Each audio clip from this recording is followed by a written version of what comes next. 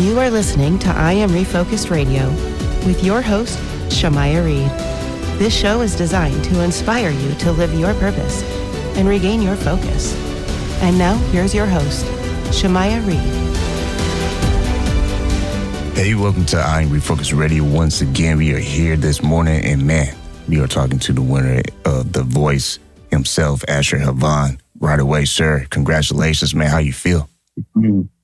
I am feeling absolutely amazing. You know, I was on I was on cloud 35 this last week and and I'm still there. I'm still there.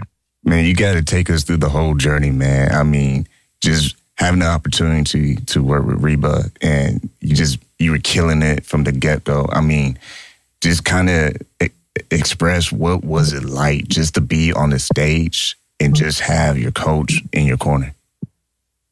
You know what? Um, it honestly felt like otherworldly.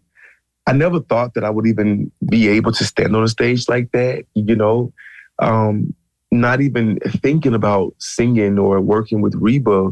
Um, I think it was the most exciting experience I've ever experienced in my life.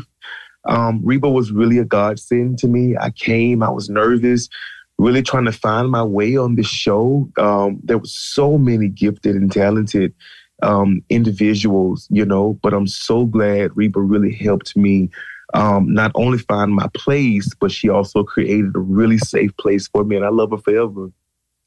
Being able to blend your gospel and R&B roots, how did you use that to just set yourself apart from the rest? You know what? Um, growing up in Selma, and and singing gospel i was i was taught stage presence you know i was taught to engage the audience. And so i really feel like that my gospel roots really helped me um, or, or, even catapulted me forward when it when it came to standing in front of large crowds. And my r&b um, side definitely you know um, woozle people with just the tones and the rhythms of it. And so combining them together, I think it created quite a masterpiece. When you get compliments from other coaches like John Legend, the famous one is when he shares about the text he got from his own pops, talking about how great you are. How, how does that make you feel knowing that, man, not just your coach, but other coaches are also showing that, man, this is the real deal? It hit me hard it really hit me hard. You know, if if there was any doubt before that moment, you know, when when John said that his dad called him, yeah. you know, first of all, like that's your dad. You know, you've never talked about your dad on this show um, because I've watched the show for quite a long time. So to hear that, man, that like hit me in my stomach. I was like, wow, this this really could probably happen for me for real.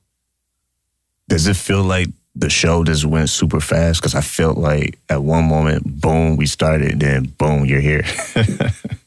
Absolutely. You know, once once we're rolling, um, we're rolling. And if if you don't enjoy the experience, you would miss the experience. Mm. Um, I can't even tell you how I felt in most of the performance moments because I I live to live in the moment. So I was embracing every feeling. I was embracing um, every emotion. I was um, I was feeling it all, and um, I was determined to just live in to, to, to live in those moments. So yeah, it was fast, but I enjoyed the ride. Once again, talking to Asher HaVon, the winner of season 25 of The Voice.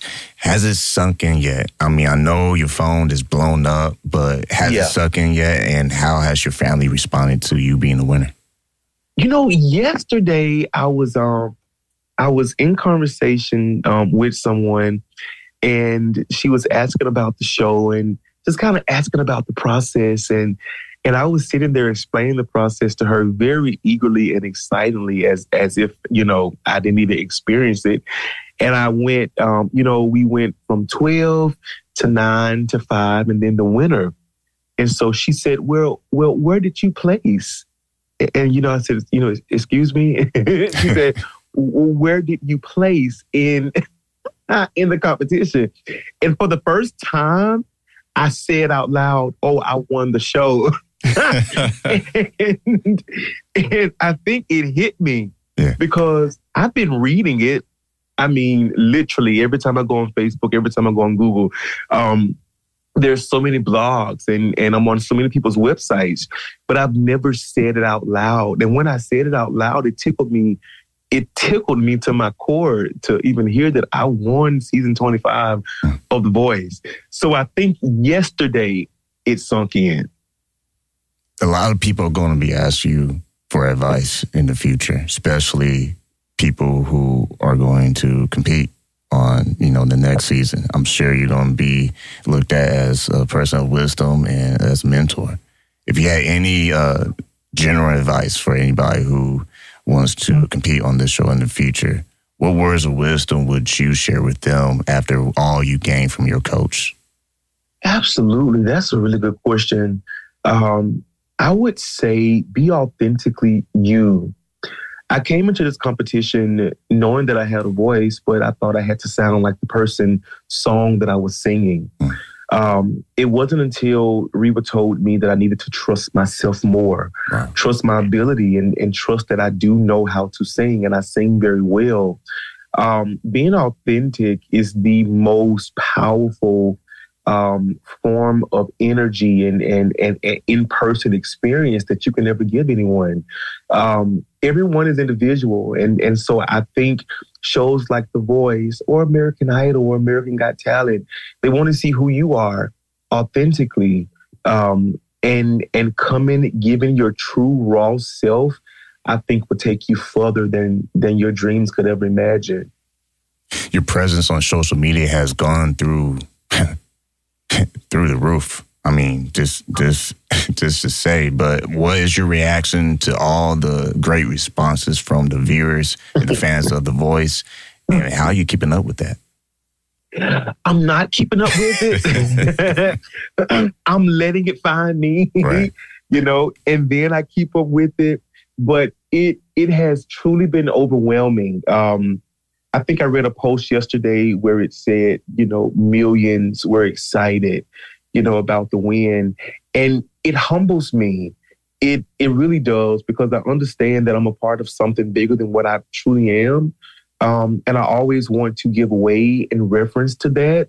So um, to get so many responses and and so many um, just celebration quotes and and posts, and even from the LGBTQIA plus community, I've received so many inboxes saying, "Oh my God, I saw you."